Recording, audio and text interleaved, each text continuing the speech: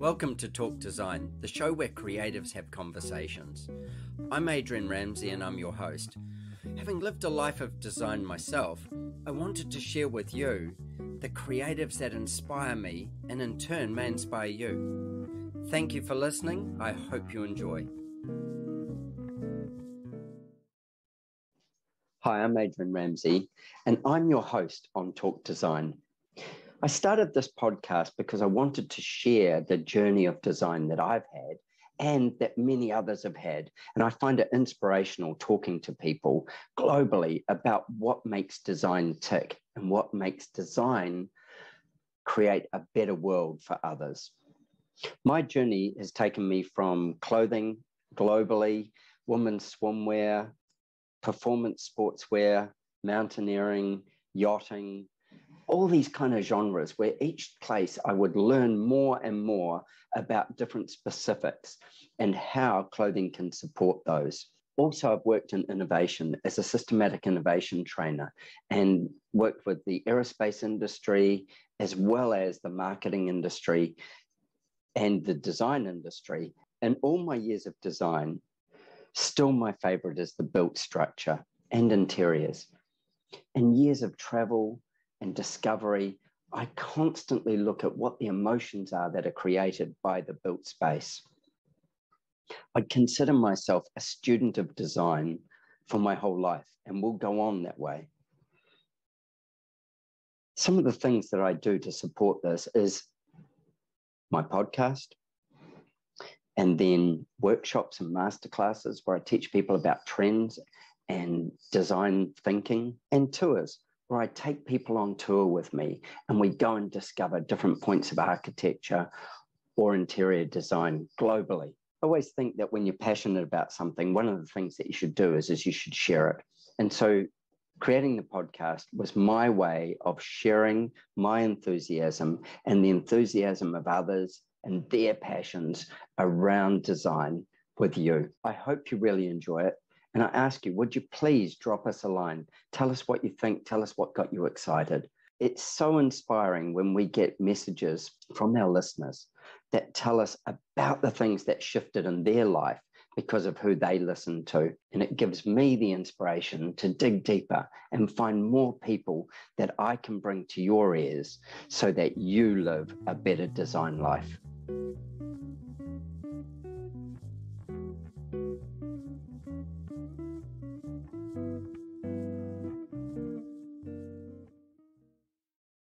My guest on Talk Design today is Lonnie Armstrong. Now, Lonnie is a builder in Austin, Texas, and he's got a wealth of experience as a builder, and we're going to dig into some of that. And then also, he started his own podcast, which is called In the House Podcast. And this is a fascinating look inside the building world with his guests. And uh, I remember when I think you were maybe one or two episodes in, and spun your podcast and going, oh, okay, I'm going to have a listen to this. And it's interesting to watch how it's evolved over probably six or eight months already, maybe longer. And it's great fun. It's uh, I find that podcast where there's a lot that you can learn from when you're listening is really valuable. And certainly in this industry, you know, in the design and construct industry, there is so much to learn because it's such a complex industry. So, Lonnie, welcome to the show. Yeah, thanks, Adrian. Thanks for having me on. Hey man, you're the number one for my New Year's. This is uh, this is the first recording for the New Year's. I'm probably a little scratchy. I've had three weeks off. well, I'm honored. Thanks. yeah, it's great to have you here, man. So I want to kick off with just a little bit about why are you a builder? Um, how did that happen? Out of all the things you could have done in life, somewhere along the line you chose to be a builder. What was that about? You know, I've uh, I've always been interested in in how things work, and uh, you, you, know, even as a little kid, you know, I was always getting in things, taking things apart. One one story I've, I've shared several times is you know taking apart the family piano, and my my parents had a big stand up piano in the li- in the living room, and you know they come home one day and it's torn and into bits. pieces and in, in bits and pieces, and I just wanted to get in there and see how it worked and you know, put it all back together and so I was always tinkering with things. I was, uh, I was always in the garage doing stuff. You know, I got into art and, and sculpture later on in, in high school. Yep. Um, so just I think being creative, being working with my hands and and just getting dirty, and so I actually didn't I, I didn't know I wanted to go into construction. I, I guess mm-hmm. so. My pathway is, is kind of meanders, you know, a bit, you know, through high school. Like I said, I was I was into art and you know painting and sculpture, and uh, really into design. Um, I actually, you remember that old show? I don't know if you, the Orange County Choppers. Yeah, right? sure. Yeah. With the with the motorcycles. Yeah, yeah. So I I loved that show and West Coast Choppers. West Coast uh, Choppers. Yeah, I'm trying to think what, of the guy's name. Yeah, yeah, I know the um, show. I know the show. Yeah, the guy. it's on the on the yeah. tip of my tongue. I can't think of it. Which I, I think he's actually here in Austin now. Uh, interesting enough, but um, I was always interested in those shows, and I was really, I really loved motorcycles, and I still do. And so, you know, at the time, I wanted to open my own shop and build motorcycles, and I had a uh, a notebook full of designs. You know, I would draw motorcycles, and and I, I was just really into that. And so wow. I, had always been interested in, in design. And so I graduate high school and I, I actually go to a mil- military school in Missouri for a year. And then I transfer into the, the Air Force Academy in Colorado Springs. And yeah, wow. so I was there for, I was there for, I think, uh, freshman and sophomore year. So I was there for a little while. Um, and I wanted to when I was there go into mechanical engineering, you know, because yep. like I said, I was just the always interested with chopper thing, how, motorcycles, hacking. Yeah, yeah, exactly. And I, I, I don't know the correlation between the two, but again, it's just in my mind, mechanical engineering, you know, machinery and robotics and, and all of that was, was super interesting to me. But I just I didn't have the grades to, to really declare that major. You you had to have yep. a certain GPA to be able to declare that as your major and so I, I left there. I'm not really sure, you know, what I was going to do. I, I, worked for a little while back home, and you know, I got to reading about the School of Architecture at, uh-huh. at Texas A&M. Uh-huh. You know, because I, I, I figured I would kind of go back into yep. design and. Yeah. Uh, uh, but at, at, the time, my view of what an architect was was, you know, somebody just sitting in an office cubicle all day, just drawing, you know, drawing pictures of houses or, you know, details or something, and that that didn't really appeal isn't to that, me. You know, I think I, that's what you do, isn't it? Yeah, something like that. That's most of it anyway. But so that didn't that didn't that side of it didn't appeal to me. I, I wanted to be out in the field and yeah. So that's that's where I stumbled upon uh, construction science, which is under the School of Architecture, and I got to reading about that degree program and seemed interesting. I'd give it a shot, and you know, one thing led to another, and you know, graduated uh, A and M with a bachelor's in construction science, and wow, moved to Austin, Texas. It's it's kind of a wild story how I got to how I got to Austin kind of a miracle actually how I ended up here. So you didn't start in Austin though. Where were you born? Where where was you where did you go to school as a kid? Like Yeah, I was I was born in Houston. Okay. And so I went I went to school in Houston for a while and then we actually moved out to Brenham, Texas. Uh-huh. I don't know if you know where that is. Not really. Home home of Blue Bell ice cream. If you ever Oh sure. Ever yeah. had yeah, yeah, yeah, plenty. yeah. So that's that's Brenham, Texas, and so that's that's where I went to school. That's where I finished up. I think from fourth grade on all the way to high school. So grew up in kind of a small country town, and I um, watched it watched it expand over the years. Yeah. So that's kind of where I'm from. But, you're, I, met my but you are a native. Te- you're a native Texan. Absolutely. Yeah. And, and Austin is Austin doesn't have as many native Texans as maybe a lot of the rest of Texas. Not so much more. Used to. Yeah. yeah, there's a lot of a lot of Californians moving here. Yeah, it's pretty diluted, but, uh... and, and uh, you know, I've I've been going to Austin. Goodness, I don't know, eight or nine years, something like that, regularly. And mm-hmm. just the change that I see, and you know, you'll be sitting somewhere, and the people that are around you won't be Texans necessarily. They'll be from all over the world, like especially because it's such a tech town. Yeah. Oh, That for sure. that you know, like you'll be sitting in a bar or sitting in a eatery or something, and you look around, and yeah, the number of, especially in Austin, the number of actual Texans would be probably 30% or maybe 50%, I think, often, especially in Yeah. Austin. Yeah. It's a very Yeah, internationalized town. It is. Yeah, it's a major hub. Like I said, it's a big tech town. You Mm. know, now, you know, and then of course Musk brought a Tesla headquarters to to Austin, just outside of Austin. So Yeah. yeah, that I mean that brought a lot of jobs too. So it's it's growing. It's it's it's a booming little town, that's for sure. Not so And little so, anymore, but so how did, what was the miracle other than getting your pi parents' piano back together? What was the miracle? That's got to be miracle number one. Oh my God, yeah. I, I, you're saying it, and I'm going, he what? You pulled the piano apart? Um, Yeah. it's like uh, there's a lovely piece in there of self-confidence, you know, self-belief and self-confidence. When you start pulling Yeah. the piano apart, I can put this back together. How hard could it be? Oh, you Somebody, got to. Yeah. exactly. Um, but the, the miracle of ending up in Austin, what what happened there? What was the kind of line that took you from Missouri, was it, to I uh well, yeah, so like I said, I I you know, I'm coming back from the Air Force And Academy, did going A and through M? A yeah, I went Yeah. went through A and M. So your last, your basically your senior year at A&M, you have to do a uh, an internship. That's part of the program. So um, did my internship, and I fully believed I was going to have a job with the company that I interned for. And you know, I'm, I'm not going to name any names, but it was, it's another like a big production builder, a, pr- a pretty high end production builder. Um, and so I actually got extended a job offer to that company, and you know, luckily I you know I listened to my wife's advice.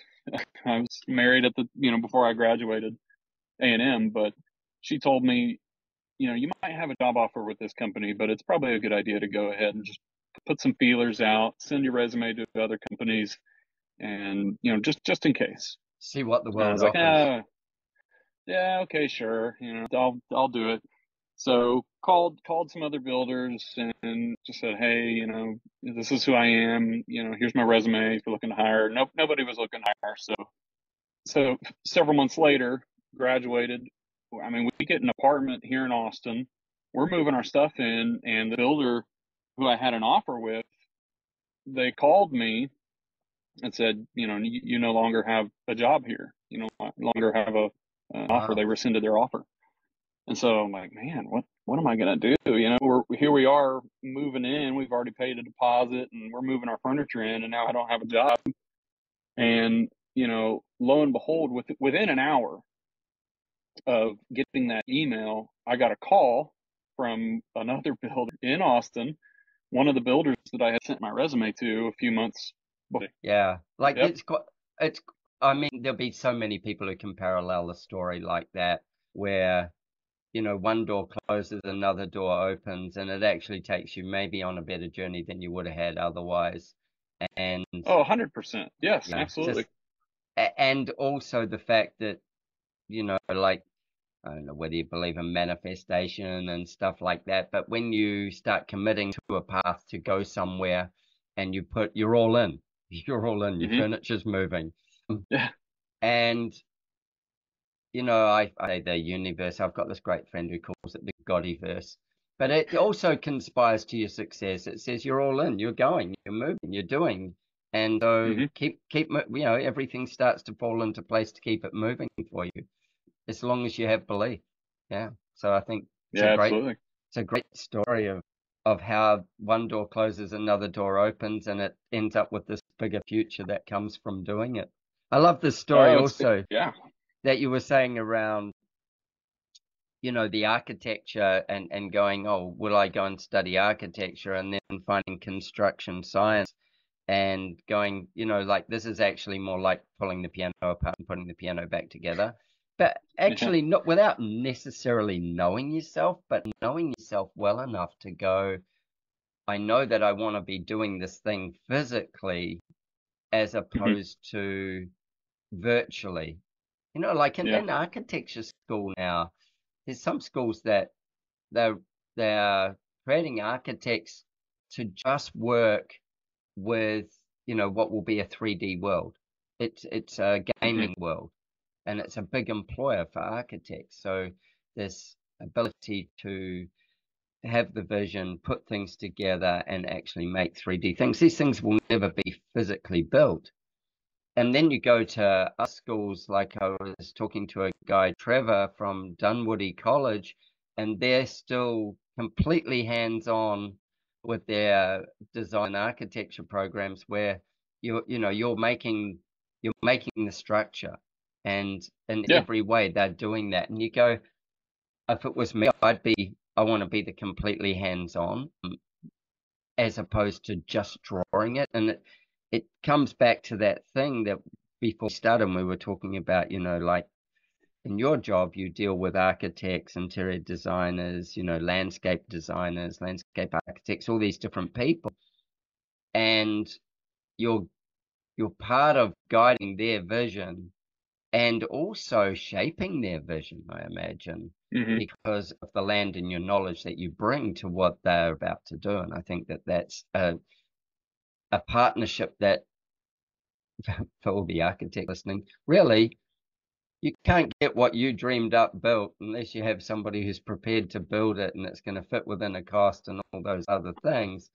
And somebody who's equally as passionate about getting the thing out of the ground and up you know or into the ground and down whichever way it's going to go. But like uh-huh. unless somebody is in love with that then it's just a job and they just turn up and you kind of you know the frustrations and everything else you just get what you get um, i think there's a yeah finding that little that that piece of your niche is genius mm-hmm. like it and knowing design yeah. as well knowing design understanding design yeah well I, you know i think it's i don't even know if you necessarily there's a lot of design i guess that i i don't understand and, and it's not necessarily i think having an understanding but it's it's appreciating it maybe and mm. and um you know, I don't what am what am I trying to say? It's you know, you don't have to have that design knowledge. I, I think you just yeah. like I said, you you, you know, you got to understand you know the vision. You got to be able to see the vision and and and it's it's hard to find those people I think that are passionate about the design and and what you're trying to achieve. Mm-hmm. Um and and you know, yeah. I I certainly know from my own business uh, when I'm working with builders and you know you kind of niche out these builders that you do like to work with that have that vision and they're they're you know as crazy committed about trying to make the vision work as you are mm-hmm. as the person who drew the vision and you know they they will help with construction method they'll help with you know like even everything really like if the site's going to do this, then you know we might have to do this to do these to stabilize this part of it or to do whatever. Mm-hmm. And uh, an open conversation of design and what the build, how it's going to get done in the end. Yeah, that's that's super important, and I mean we talked about that too. You know, with some of the guests that I've had on the show, is yeah. you know how early do you how early do you involve the builder? Because um, that's that's important. Is you know, and that and that's a question that I've that I've had, you know, for these these guys coming out of architecture school or design mm-hmm. school. Um, you know, how do you how do you design a house or how do you design something if you don't know how to build it? You know? Easy, man. You just draw some lines. I think He's super easy. Yeah. it's, it's, it's all theoretical. It's all theory yep. uh, until, you know, the, the rubber hits, hits the road and, you know, you, yep. you actually start digging and, you, you know, so having that, I think that that knowledge brought in early on in, in the design process, mm. you know, to, to try to guide, you know, because every house is unique, every project's different. And so you can't foresee everything, but you can definitely kind of learn from, you know, history and what's, what works and what doesn't and, you know, kind of guide the design. I think that the the really amazing part with that is is when you have someone who is in the construction side of it who is looking for I shouldn't say looking for who is accepting of the challenge and is a problem solver and has high analytics and really has that thinking of the best way to get to this, A, for construction and cost, but then um, B, for the aesthetic that it's going to do or how it's going to deliver that, you know, like, and when mm. you can, when you can have that conversation and it's a, well, I want to say a joint vision because in a way it is a joint vision. It might be driven by what the designer is thinking. However, the outcome still, as you say, has to be able to be built. And then there's still mm-hmm. going to be a, a, a, price against building it and a timeline and all these other things. I mean, I know in my experience, I've gone, oh, I'd really like to use this product, like a, a walling system or something. Mm-hmm. And the builder would say to me, yeah, we can, we can. And look, our, our, we can tell you that if you use that walling system, it's X amount per square meter minimum. We know that because we've done a little bit of research on it, but we've never used it before. What we can do though is if we use this walling system, we would be able to guarantee our pricings at this. And so that means that this part of the house, we know we can lock that in. And mm-hmm. we don't have to employ um, a different set of contractors to work on that other system that we don't know their systems right. and all the rest and we'll go, okay. So you look at, say, the house, and you might go, oh, look, we're talking about a, I don't know, like I'm talking Australian dollars here, obviously, um, but it it could be that it's a you know a, a renovation or something or an addition, and you go, it's like say three or four hundred thousand dollars worth, versus going, I want that walling system in this four million dollar build. And now the builder is at some kind of risk as well. Whereas at the smaller mm. piece where they can test it, test the, the, the people they work with, make sure that everything's right, they're less likely to come unstuck than if it's in this big thing and it goes a little bit sideways or in a lot sideways. And I really learned to appreciate that from builders is like the end of the day, their license stays on that structure for mm-hmm. a long time, and we don't want to put them at risk either. So just because we can draw it doesn't mean it's or or specify it. You know, like what should it be? So a meeting of the minds yeah. there, I think, is really valuable as well. I really, I like, I I believe that the builder, ideally, if we've got a plot of land, the builder would be ideally chosen at that point and we start mm, the yeah. journey right back after the first few walks on the land, the builders walking the land as well. And then once we start the conceptual, you know, schematic design, I'm not so worried about the builder in that first part there. I go, let's get some ideas out first of yeah. You know, that are in line with the land, what the land teaches More us. Big picture and, stuff. Yeah, and what the clients yeah you know, whether we're meeting the client dreams and are we expanding their mind and all the rest. In the background, once we've started to just tighten that up, I'm I'm like, yeah, let's get the builder back involved. We don't always need the three way conversation at that point, but yeah. we do need a two way one. And then, as soon as we can, uh, because we have a lot of pre costing, as soon as we can go, okay, with the builder, where are we looking at here? What what what kind of dollar value is these crazy pieces that we're adding to this? You know, because they're not all just square boxes with simple gable roofs. what with these other things we're talking about? What kind of money is this looking at? Because this is our budget. This is where we're headed, and then really start to dig at that point and probably with less client interaction but more builder interaction and then yeah. refining that through that process. So knowing that we're not going to draw this masterpiece that is going to end up yeah, never yeah. being built because it's uh, going to blow the budget so ridiculously. Right. Yeah. No, that's that's important, and you know, builders, you know, they're the they're the tip of the spear. So they've they've certainly, you know, a lot of builders they've they've done a lot of things wrong, and you know they've learned from those mistakes, and hopefully yeah. learned from them, I guess. And so, yeah, they know generally they know what works and what doesn't, and and it's it's always good to have that you know that input. I think so during the design.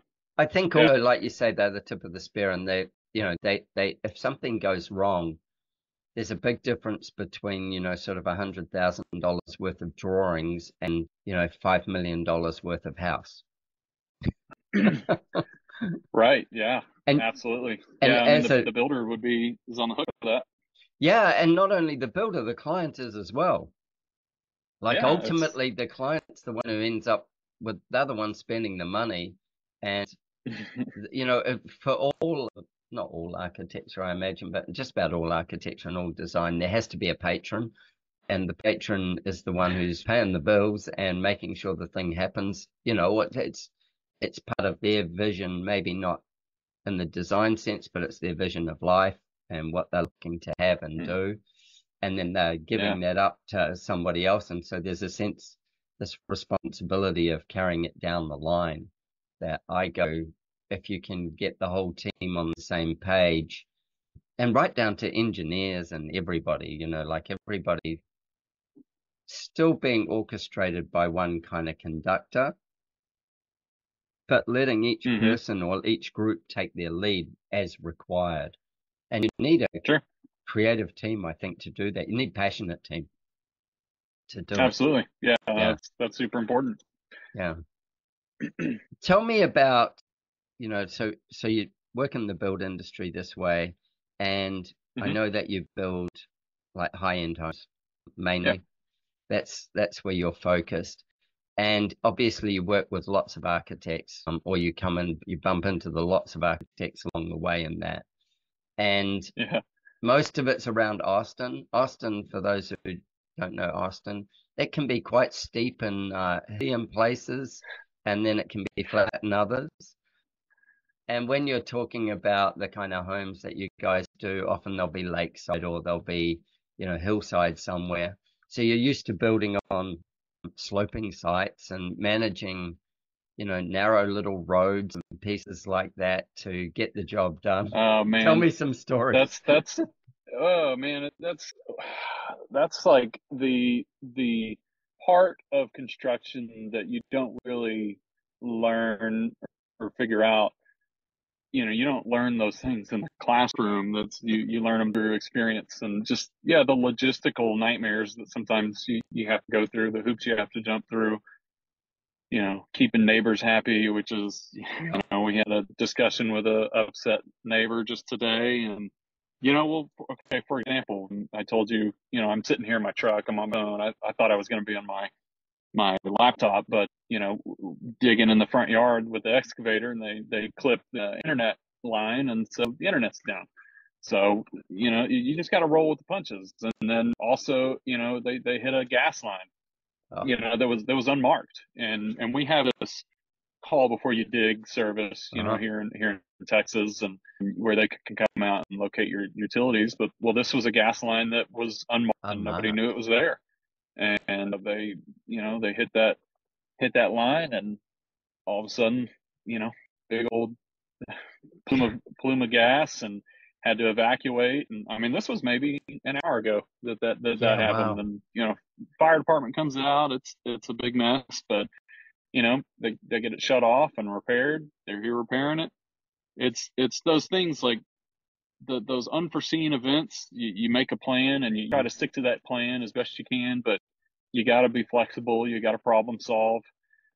Things don't rarely ever go the way that you intended them to go. That's part of the fun of it. You know, it's, it's, it's challenging. Yeah. And, but it's and again, definitely part you don't of the learn, fun. it's, it's fun. It's, I mean, it's a headache. It's stressful, but you know, you, you, you learn to deal with it and, um, you know, it's not it's not an easy industry, and it, it, requires a lot, you know, a lot of time and attention. And yeah, it's it's fun though. That that's yeah. the fun part is making the plan, trying to execute that plan, and and having a plan B or plan C, in, in case things don't go the way you intended them to go. And um, when a problem comes up, you know, how do we solve this? You know, that's that's yeah. not going to break the bank and that's it's not going to affect the the overall design, things mm-hmm. like that, and and that and that's it's it's fun. It's a big puzzle, and that's I, what I think draw, draws me to it, and that's that's why you know that's the joy of the joy. Yeah, the joy of the job. You know, is exactly. I remember designing yeah. a house, and, and when the builder rang me, and he said, um, "Hey, we're doing this excavation, and uh, we've hit this rock." And I'm like, okay, cool, yeah. And like, and he's like, well, we can't excavate it. It's bigger than that. And I said, oh, okay. So what does this mean? And he said, well, it means that you know this front left corner of your house that you've designed may require some changes. And I'm like, mm, okay, like what? Like I'm going, and he's going, I don't know, man. He said, we're trying to assess how big this rock really is right now. But at the moment, it's the size of a small truck. And um, so then I'm like, okay, so uh, have you spoken to the engineer yet? He said, yeah, we're waiting on a call back from the engineer. But he said, I thought I'd loop you in. And so then we, you know, like again, they're in construction mode. They're trying to put their slab down and put their footings down and everything else. And they had to get the engineer out there. And finally, the engineer said, look, it's so big. Like they asked him to fully expose the, the top of it and, you know, around the sides and stuff. Mm-hmm. So big you compare that corner to it. Uh, but we were in highly ah, reactive wow. soil as well. So like, um, you know, the engineers like going, yeah, well, he beefed up some other beams and the in the slab and stuff, and said at the sure, worst sure. that that will be a cantilevered corner, but like, yeah. and but but we'll still attach it to the rock, and you go, yeah, okay, and just things like that. Yep. And and again, the builder in this case, he's like, I'm like, oh shit, you know, what do we do now? Kind of thing was I wasn't panicking, but yep. it was just like, hmm. And he's like, oh, it won't be a problem. There's a way. It's just, I don't know whether we'll be able to get that piece of the corner of the building to be built the way that you think it's going to be built. And I'm like, oh, well, let, let's all sit down, sit uh, down and work it out. Yeah. That's an interesting problem. What, what's, well, so you said you're in like a, like a beach community, uh, right? Yeah. Or you're, you're kind of in those. So what's, what's the soil conditions like where you're at? Topography. So where I actually, where the house was, um, we've got like maybe less than a mile off the coast as you come back. We we run into the hills. So we run into mm. the first of of not particularly high, but you know, a few hundred feet at least high, more than that maybe. Um, hills, a range of hills that looks mm. over the coast and that kind of spreads itself down right to the coast in different parts as it as it lowers down. And so obviously on the uh, lowlands we've got reasonable has been uh, flood areas and stuff that's kind of controlled.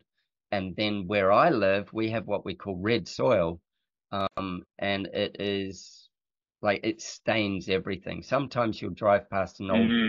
an old building like uh, on the farm or something, and uh, you will see it kind of fades from dark red to about oh to pale pink as it goes up the side of the building. Once it's halfway up the side of a single story building, it'll just be pale pink. And that's just water splash off the ground. Um, yeah, yeah. That's stained it over, yeah, over years. So the, that soil can be fairly reactive. It's got often got clay with it as well. It's really good for growing things in, uh, but it's often got clay, which is reactive clay. And then we have these massive granite boulders as well, like massive, uh, that are just yeah. big, big floaters that are lying in amongst it all. And in this case, we had really? a floater. Yeah. Uh. And to give you another example of that, um, there's a house not far from where I live, and this guy bought up uh, five or six blocks of land, and he built this humongous house. And he, it, it's a long, sad story, but anyway, with it, he built this humongous house and pool area and you know guest house and all these things, and he was he decided to dig himself a bomb shelter. I don't know why, but anyway, whatever his reasoning is, he decides he you built. Gotta be prepared. Yeah, yeah, exactly. A little bit, little bit probably overstressed for you know somebody living in Australia, but anyway, he dig, starts digging this bomb shelter, and we lived here. So when I say fairly close, it would be maybe oh I'm trying to convert this in my mind as I go. The the distance. It'd be 30 houses away from us, uh, mm. and just just above us on the hill. And 18 months they had a rock breaker dig through through solid through solid granite. Jeez. Now that the land around it, on this, uh, not necessarily on the sides, but in front of it and stuff, would still come in as a highly reactive piece of land because there'd be clay and there'll be this red soil and you're on the side of the hill so it would constitute being in a slip zone as well because mm. everything up on top can slide off all that stuff and so yeah. we would end up with you know always big foundations and then when we're on the top of the hill we've got a highly reactive soil and clay that and that's where this other house I designed was, that highly reactive soil clay mixture means that as we go through our wet season, it moves around a mm. bit, then it dries out yep. and shrinks a bit, and then it you know so it might swell back up when it gets wet again, but then it dries out and shrinks a bit. So you've got this sure. constant movement. So you'll often see houses either with deep piers and a beam slab construction, so there'll be lots yeah, of yeah. beams. So it's essentially beam, yeah, yeah. Or it might be rafted, so it might be on a on yeah. a raft, so it's floating. Those are the two general ones that we would see. But the land often here in this area, uh, an old established area, also doesn't get bulldozed around a lot. It's not like oh. you might you might cut and fill, but it's not like a subdivision where you just run a bulldozer over the whole thing and you know, make 50 house sites or 100 house sites and curate all the land for yeah. it, you know. If there's, no, I got you. Yeah, so that's our general, and, and that extends well back off the coast as well as on the coastal strip. On the coastal strip, yeah, we've built on sand plenty of times. So, oh. yeah, again, just yeah, wild. That's wild why we have engineers. exactly. Yeah, another important piece of the puzzle. Yeah, engineering. And you know, we have a lot of we have quite a bit of flood zone where we are as well, and then we have fire zones, and then we have koala habitat, and we have biodiverse zones, and we have one place we did just recently. They had platypus habitat. So all these different things that are part of the protection and the layers of protection that we have to assess when we're putting something together. And mm-hmm. fire is a big one, you know, like our firefighters from Australia go to California when you have big fires, and your Californian firefighters and beyond come out to Australia when we have big forest fires.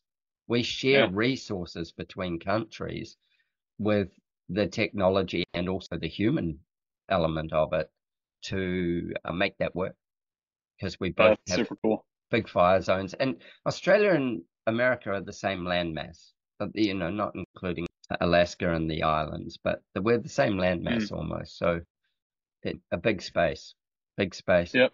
Yeah. It's interesting. And I find, you know, talking to builders and people in the construction side of it equally as interesting as talking to somebody who is in the design side of it. Because when you find that mix, that's where the magic, I believe, yeah. really happens. Yeah. It's, I, I agree. Yeah. And, you know, with our podcast that, that I'm doing, it's it's kind of been that way. I've tried to get a mix, mainly to try to understand, you know, how an architect thinks more. Because, yeah, man, sometimes talking. Have you found two that think the same? Say that again. I said, have you found two that think the same? No, not at all. Not at all. yeah, but uh, I'm I try to kind of branch out of my my comfort zone, I guess, and and and have people on that are in different industries, you know. Mm-hmm. And I'd like to include you know more people who are who are maybe outside of design and construction, you know, and because I, I think the thing that interests me the most is you know people people who are just passionate about what they do you know whether it's design or construction it, it doesn't matter or you're a chef or, or an yeah. artist or yeah. yeah you know it doesn't matter that that passion that's there i think is is is very interesting to me and kind of diving into that and figuring out like you know why that's there and and I'm, how I'm you were brought you. up and I'm yeah, with you. It's, like it's, what it's what influences fun. it? Like what yeah, what influences it and what do I learn from each podcast journey? You know, so mm-hmm. like so tell me how you what made you when and how what made you start the podcast? What was the thing? I, I have a funny story with mine, which is I was talking to Matt Risinger and he's yeah. and I was in Texas, and I said to him something about, oh, I'd love to have a chat to you about, you know, building design. He goes, yeah, well, you've got a podcast or a blog thing, don't you?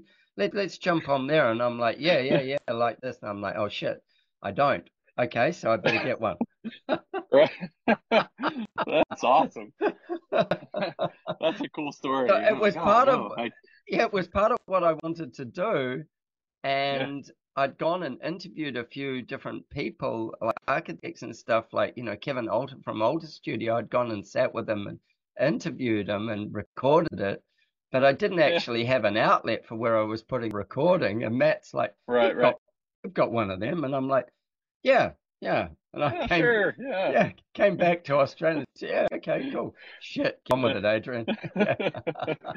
yeah, it's it's kind of a learning, been a learning experience for me, and you know, I'm I'm not, I haven't always been the best communicator, and so part of it, I guess, to challenge myself would would be to to start a podcast, and you know, the nature of what we do we meet a lot of really cool, interesting people, you know, from all different backgrounds, mm-hmm. and and they're all really skilled at, at what they do, and th- that's again just finding that that person that's you can tell you know you can always tell the difference between somebody who's passionate at what they do and somebody who just does it to make money, you know, to, to make ends yeah. meet, you know, because for those people who are passionate, it's it's not about money. They could care less about how much they make. They just want to be able to to do, uh, you know, their their craft.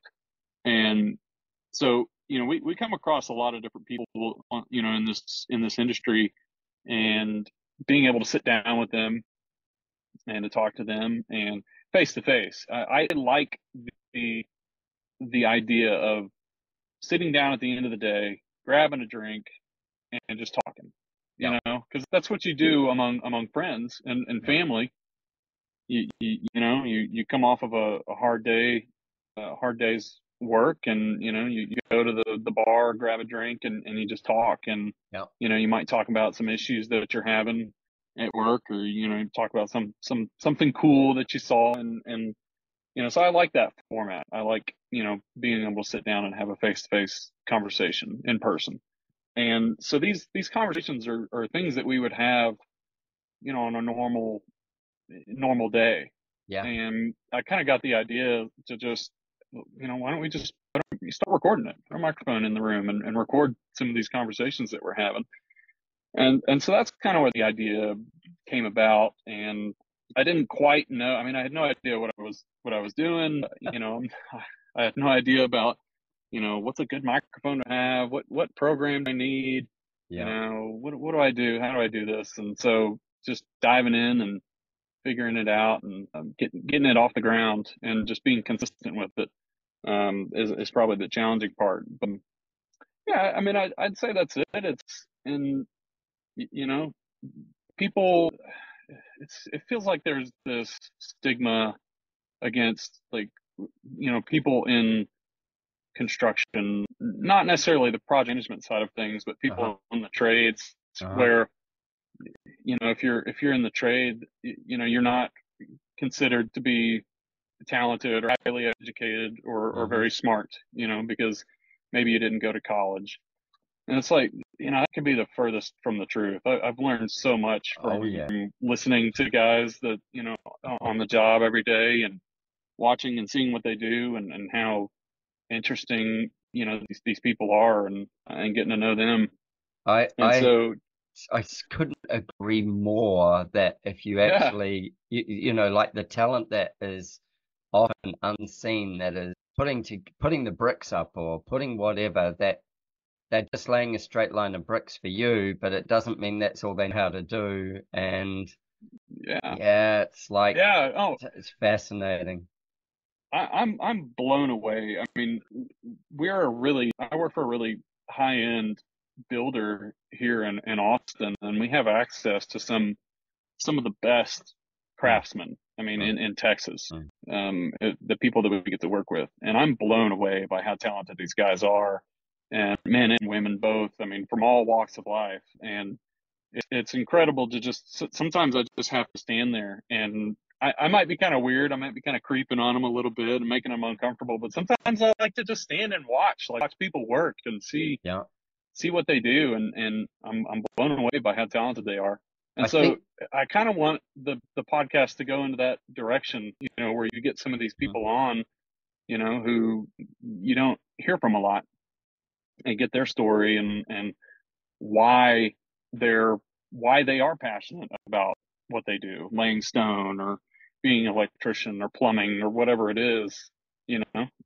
I've I've got a podcast for you to listen to, which I'll send you as well. But it's Dwayne Pierce's Level Up podcast from Australia. Yeah. He's he's a builder, and yeah, you you will enjoy his stuff. He has a lot of those guys on, um, on his Mm, podcast, yeah. And it is fascinating, you know, to hear their not their just their take on business and and things like that, but their take on their craft. Another guy that I had on my podcast here a- little while ago was a guy called Ken Rusk, who wrote a book called Blue Collar Cash, and he's a contractor from up uh, north in America, and uh, he talks about the fact that you know it takes human endeavor and, and people's hands and intuition and mind and um, ability and passion for what they're doing to to put stuff together and you Mhm. know for I don't know how long, probably 30 plus years, maybe longer, 50 years maybe. Uh, a higher education has been the thing that has been if you didn't have one you were dumb or you you you wouldn't succeed or you would only succeed if you had this higher education and ken's like his whole thing is is you know that isn't that that, that a that's no longer true and b Yeah, not yeah. only is it not true it is no longer the path to it as well don't you don't need to leave school with a massive debt uh, for your uh, from you know your your higher education mm-hmm. and go into something that isn't going to serve you well a financially but b passionately. And like you say you get to work with some of the best craftsmen in the country and certainly in texas and you see the the way they operate and the way they think about what they're doing. They're artisans. They're, they're highly creative Yes. people that might Absolutely. be yeah putting things together. They're not dummies or you know like that this isn't and Yeah. i think apple No, I mean that, that was gonna- absolutely right. I mean just just because somebody doesn't have that piece of paper saying that they went to some some four year school, yeah, it doesn't mean they're not intelligent. And and Yeah. um, I'm sorry, I think I about cut it you. uh, no no passionate about it wanting to learn more about it i was Yeah. going to say um i think apple in their latest intake figures or something it's something like maybe 50% of were not graduates Hmm. so there's a tech company that now is going you Yeah. know well our workforce doesn't need to have a degree and they also take their people and not necessarily just apple but a lot of these big companies now and they they go well if the person's got the right mindset intuition level of of ability uh, uh, intelligence capability capacity we can train them in Mhm. these highly specialized spaces that we need and these people can excel in in what they're really passionate about um Yeah, Whereas absolutely. once upon a time, everybody down the same road and you come out with a bachelor's degree or something, and it's like, it doesn't mean you're ready for work. It just means that you, yeah, like you, you've got a degree. I've got a girl who works for me and she's amazing. She's just done her bachelor's in a- in area commercial design. And in her course, she is the only one who has had an interior design job from before she started to still working with Yeah. me. and she's the only one no, that's and, got it. And I think that's that's that's super smart, and that's that's I think a better structure. You know, I, I'm I'm going to tell my kids, you know, they're still young, but I would much rather, you know, this money that we're putting away for their college. You know, I'm not against college. I'm not against mm-hmm. getting a four year degree, obviously, but I think it'd be much smarter to, you know, when you graduate high school, you know, go off and go off and start a business. You know, let's take this money that we've saved up. I'll help you. I'll help you start a business. And you know what it is. I think you should go into a industry that you're right. You follow the passion. Go into yeah. the industry that you're passionate about. Don't go to school not really knowing what what you want to do and try to find your way and find a degree. You know, and just kind of throw darts at the dartboard. It's like let's go get the experience first. Yeah. You know yeah. Let's let's let's, let's live a little. Yeah. Live a little, yeah. Find let's out. Let's live a little. Bit. Let's get yeah. some business experience, and you know, if it fails, oh well. If you know, we'll try something else. Yeah. If, if it's if it's something that you end up liking and, and you want to pursue it, and and from there, if you want to go on and get a higher education, then you know to improve, you know, yeah. what, then then go for it. Yeah. I mean, I think mm-hmm. that's how it should be structured, where you know instead of just getting out of high school and going immediately to college you know, because because at the end of your stint there at the university, you still have no experience. That's you have the piece of paper, but you don't have the experience. Yeah. So yeah. let's let's like let's kind of flip flop it. Let's let's get some experience first, and then go pursue that higher education. So you know, with all your podcast guests, um, as a percentage, how many of them would have a degree? Oh, that's a good question. Hmm, I, I think all of them. I mean, we've. I think all of them. Yeah. So so yeah, so you. That's a good question. Yeah, and I, I was running through my mind when you were talking, going, okay, so what is their educational mean, background, and then what yeah. do they actually end up doing, and how do they? I think often with trades, it may not be as easily articulated what they do because it's such a hands-on process you know, it, it would mm-hmm. make a better video clip than it would necessarily a conversation. You know, but the way they describe how they do something may not translate as well as that when they show you how they do something. Mm. Yeah. Yeah. I think one of the things that um, all designers should do is, and, and maybe not the ones who are just building things for the computer or for, for a virtual world, but all designers should spend time, whether it's from like I used to be a clothing designer, whether it's clothing or whether it's you know watchmaking or jewelry or pottery mm. or whatever. Um, if you're going to design it, you should spend some time doing it. And yeah, actually, like for me, I go, I love getting to site and seeing construction and understanding why that's the the way that they're going to put it together or they want to put it together or you know like actually seeing it going together because it makes a big difference to me seeing that go together rather than it just being in the drawing i go oh yeah, okay absolutely. that could we could have simplified that or that could be simpler if we did it this way and it might be better mm-hmm. it might be cleaner less complicated yeah all those things all those things yeah absolutely yeah i mean we we go through you know construction details all time and you sit there and wonder like what was this person thinking when they drew this? You know this is so overly complicated and complex. It's like man let's clean this up a little bit. You know yeah. this this isn't actually how this goes together.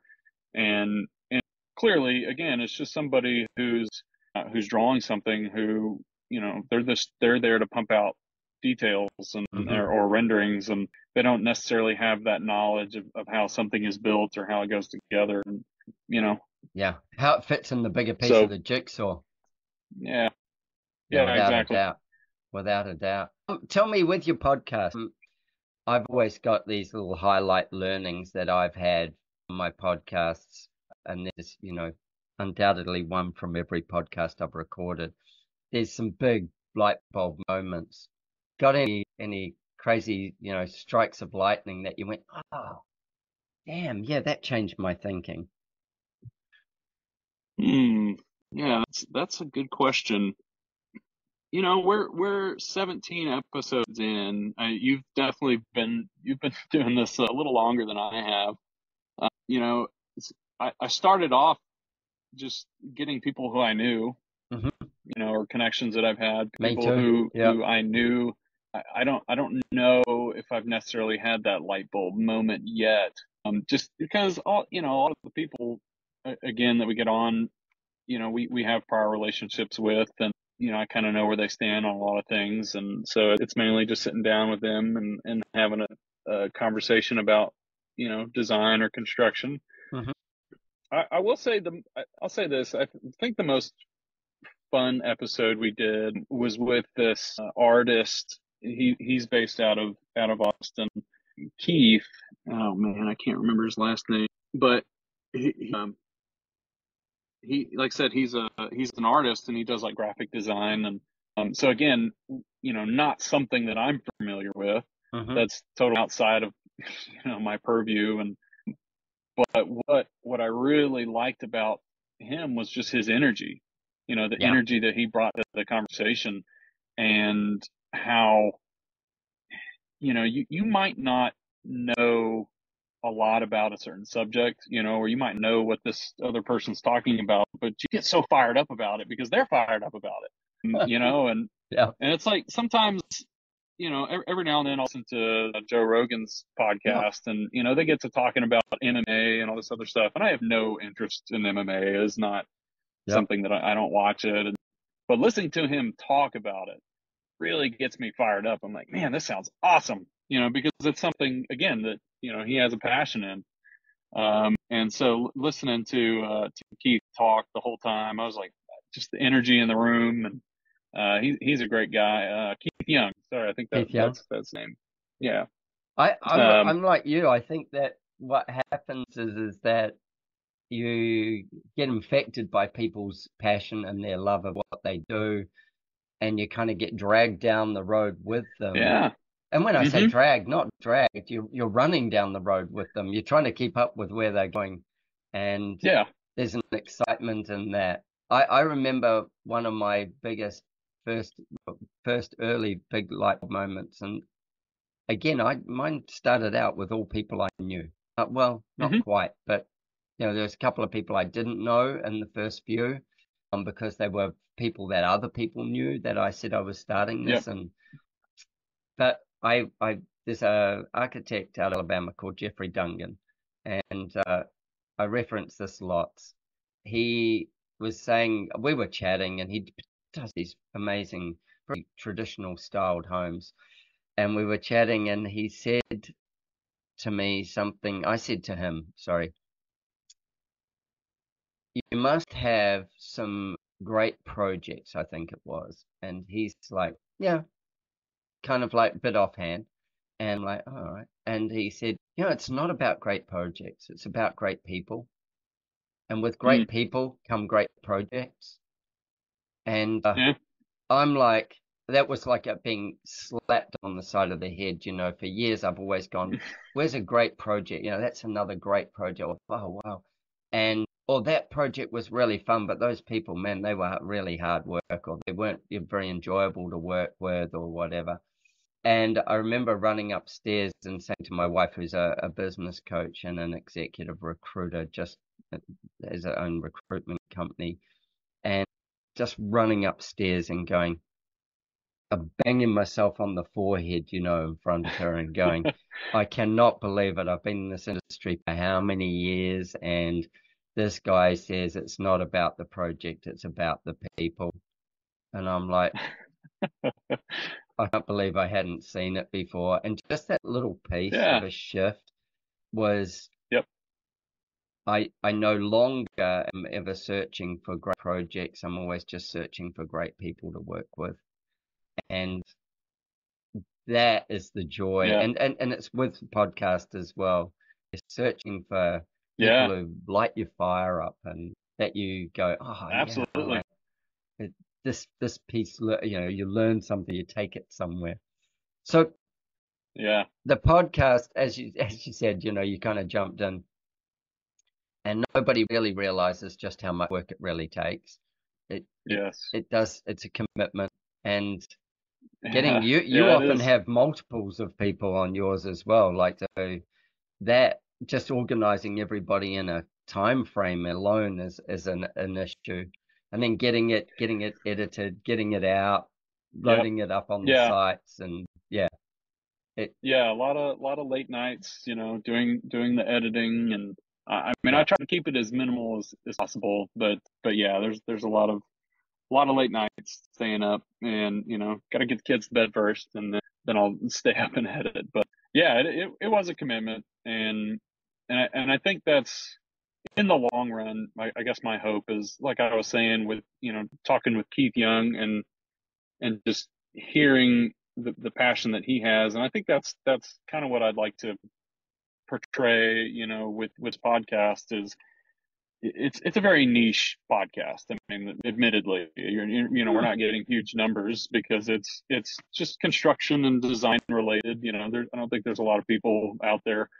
you, you know, tuning in to listen to construction podcast. But I, I think if the passion is there and, and people can, you know, maybe maybe hear that and and see that passion that they might be kind of drawn into the conversation and and drawn into the industry, you know, because, you know, there is a, a labor shortage, no doubt. And, you know, we're running into problems where, you know, a lot of, you know, these older generations are, are moving out of the industry and, you know, there's just not enough of these younger guys coming up to, to fill their shoes.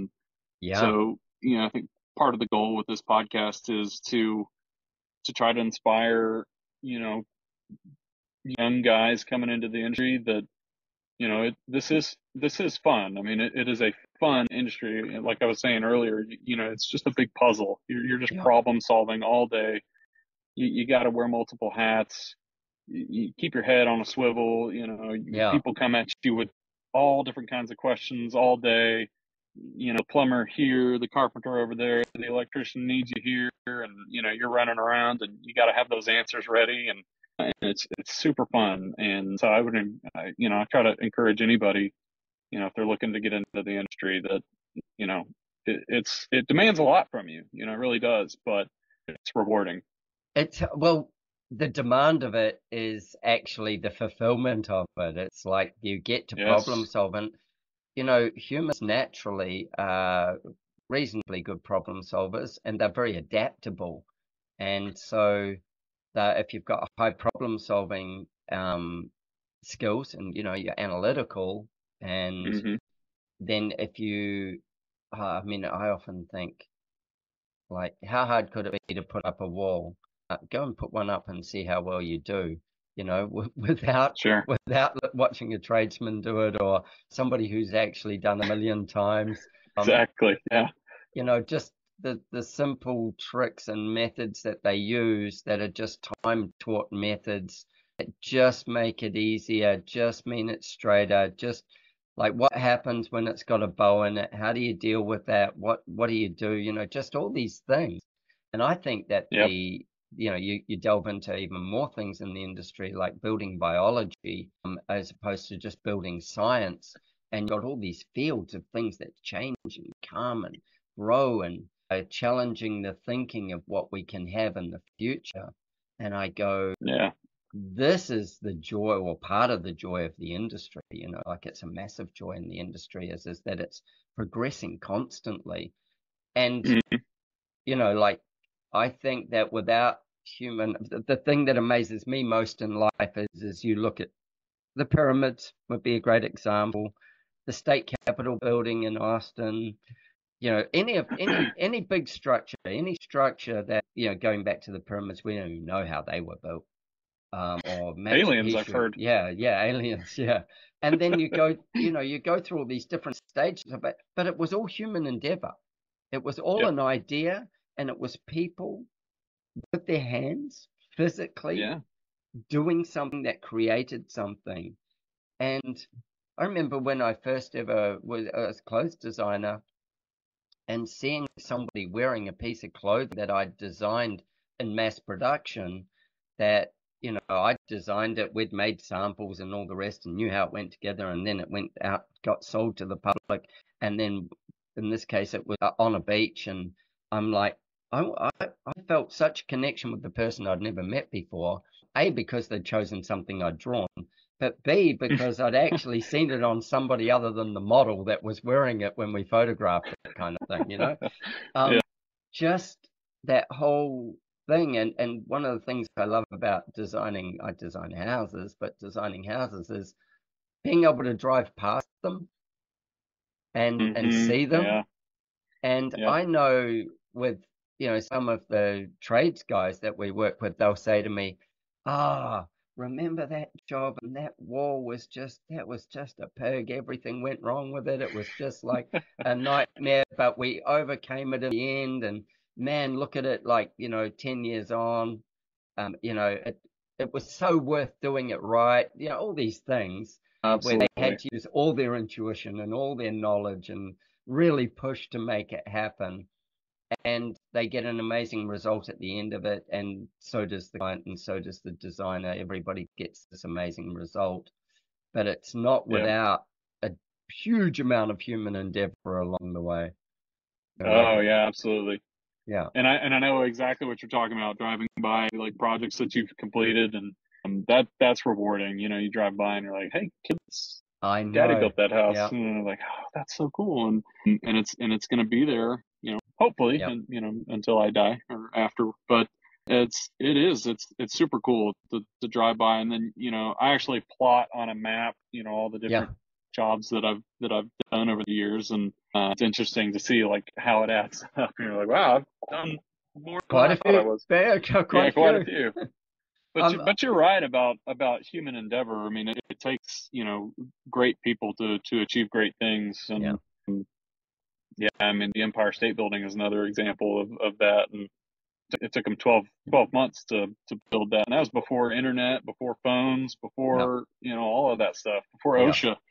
Yeah. you could just you, you, know you lived in the surrounding area, and you that's all you did. You you yep. built. Yeah. You know there there was no distractions, nothing. What was the build, they were able to What was that. the build time frame? Was it twelve years? For the Empire State Building? Yeah. I but no, I believe it was like twelve to fourteen months. Really? It's it's I I believe so. I mean, shoot, wow. I have to Google it afterwards. Oh, yeah. So I hope I'm yeah. not telling you wrong. But I, I think yeah, the Empire State Building was was 12 to 14 months. But I mean, it, it took an entire you know an entire city. Like I said, they they yeah. all lived in the surrounding area, all the workers, and that's they traveled from other states to come there and and to work and because they knew this and and build the building. Yeah, I mean, it's that's that's what they're there to do. And, and, this was before internet, before phones. There's no distractions. You're you're just you're just wow. working. And, I've got to look that up. I gotta look. I, I hope I'm not. I'm, oh I'm well, it, wrong, whatever it is, it's surprisingly fast. Yeah. Yeah. Yeah. So. Oh, awesome. So, a last question or a couple of last questions for you. One is, yeah. in your own home, where's your favorite space? Mm. And what emotion does that favorite space evoke for you?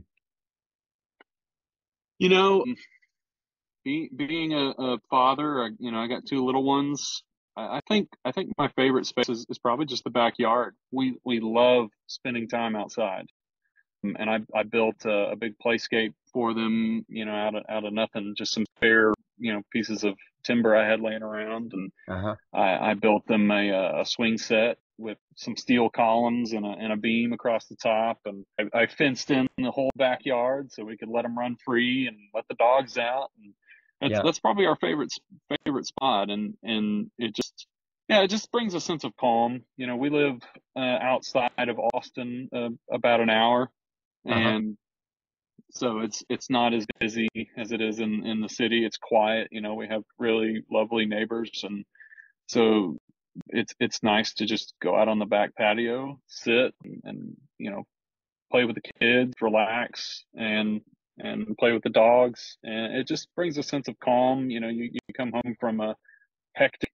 busy day, and you've been away from your family all day, and all, all you want to do is just go home and see them, and you know, hang out, give them a big hang out, give them a big hug, and and hear about their day, and so I, I mean that. that's I love that's that. what I'm. That, that's what keeps me going. I mean, uh, I don't I don't know about you, but just the the family and you know coming home and seeing them and and knowing that they're safe and happy and they have what they need and you know, that's that does it for me. That's all I need. Very fulfilling feeling, eh? Like a very, very Yeah. fulfilling feeling. And and obviously like with it being the backyard and that you've made it into a playscape as well. Being able to get out there and play as well and mm-hmm. engage, interact. And it's outdoors as opposed to being, say, indoors. Oh yeah. It's when, when you know, like when I ask that question, I, I get so many amazing answers with it as to bet. Yeah. yeah, as to what where it is and what it is that makes people feel different different emotions. Like what emotions does it bring up?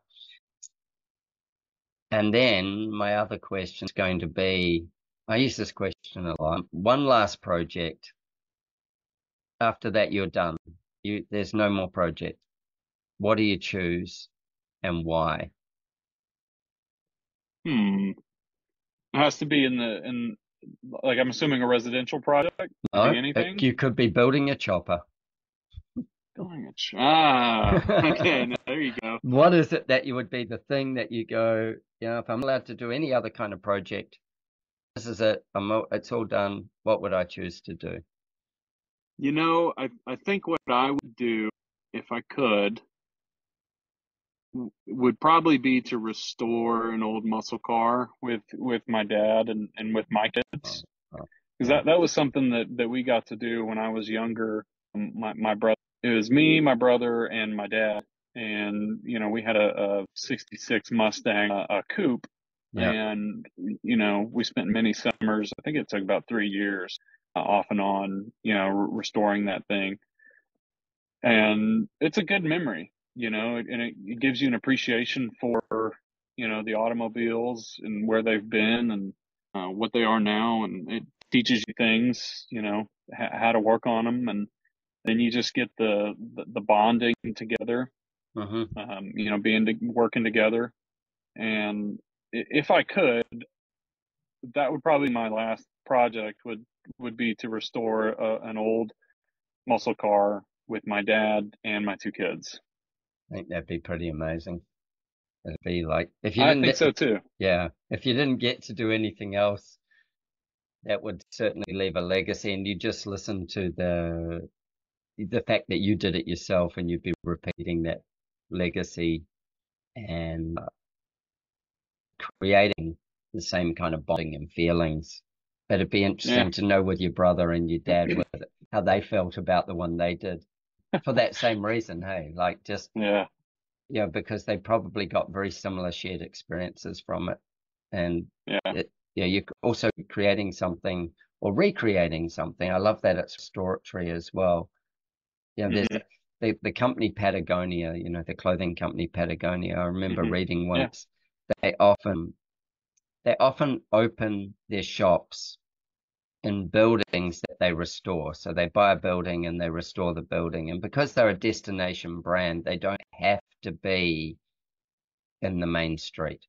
Sometimes they are, but they Mm. don't have to be in the main street. People will go to them, they'll go and find them. And one of the things that they love to do is, is take an old building. I suppose it's a bit like gentrification of an area. Mhm. And then they will buy the building, do it up, make it into something special. And uh, obviously, it's a Patagonia store. Uh, but they regenerate neighborhood by doing that as well. So they create more community because somebody else goes, Oh, Patagonia's there, so we'll go here. And it just brings community around. Yeah. And I think that when you have things like that, you know, like the old cars and things that only can be restored, they're not they they- they're not going to be remade. They're going to be they're mm-hmm. restored, you know. And Yep. there's a simple like in the '66 Mustang, there's a simplicity to the mechanics of it. It's Oh, not super computer simple. driven. Yeah. No, Yeah. it's so much easier to work on. Your lawnmower these days is probably more oh, complicated Oh, than a, a 66, you know. Yeah. Yep. Probably I thi- so. I think that's awesome, man. Hey, Lonnie, so good to chat, man. And I'm going to hook you up with a couple of people to maybe chat on your podcast with. Um, Oh, that would that would well. be great. That's super helpful. yeah, Yeah, I- I had a blast. you. Yeah, cool, I- I had a blast, Adrian. I appreciate your your time and uh, thank you again for you know giving me the the time to to come Ah. on here and talk. And um, hopefully next time you're in Austin, I know every now and then you like to come Yeah. you know come to the Americas and and come to Austin, and I'd love to sit down and have a drink with you and, and talk. Yeah. I'll be there in February, late February, as my plan at this point. So let's see if we can't make it happen. It'd be really cool. Be really Let's cool. do it. That sounds like fun. And for all our listeners, In the House podcast, go and have a listen. It's about construction and design. And beyond that, it's about like creativity and passion. And I think Lonnie's done an amazing job with what he's done with it. And it's worth the listen. May not be for you, but it may be for somebody you know. And if it is for you, give him a shout out, send him a review. You know, he's he's pushing it out there. How many episodes did you say? 17? Yeah, we're, Something we're like at that. Yeah. 17, so Yeah. yeah, we're still cranking them out. Yeah, no, that's cool, man. You take care. I'll let you get back to work and thank you so much for Yeah. your time. I really appreciate it, buddy. And happy new year. Thanks, Adrian. Yeah, happy New Year to, to you to you too. Thank you. Cheers, man. Thanks.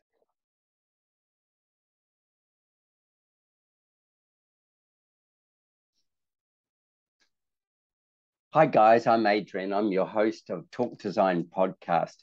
I started this podcast a couple of years ago, and in doing it, my aim was to talk to amazing design people, creative minds, people who I could learn from, and hopefully you could learn from. This was a big part of my whole reasoning for starting the podcast. We've cracked over 80 episodes, and we've done two homes tour specials for the AIA Austin in Texas, which have been really great fun, talking just specifically about houses. We've talked to HGTV stars, we've talked to building designers, interior designers, architects, business coaches, and some inspired characters along the way. People who have captured my imagination and their creative output and gone, huh, these people would bring a story to somebody else and maybe inspire them to go a little further with what they're doing as well. So I wanted to reach out and ask you all for some advice because you are the guys who tune in and listen and subscribe, and I really appreciate that. So I want some advice from you. If you guys would be happy to share with me, A, what you like best, so that I can better direct what we cover as content and then also, if there's things you want to solve, what are the three biggest things you would like information on? What are those kind of keys so that I can look and go, okay, let's find somebody who speaks specifically on these points and get some depth of information back to you that would be really useful in your business or in your life or in your home, whichever one it would be. So, if I could ask you to do that, I would be forever grateful if you would share with me just through the email based on the Talk Design website, which is www.talkdesign.show. If you could just reach out via that email and say to me, hey, this would be a really great subject for me, for my business, or for my family, or for my home, or for the way I want to see life. I would love to be able to support you guys and find those people that we could talk to that would bring that to you. So, thank you very much for taking the time to listen. I so appreciate the fact that you listen to the podcast.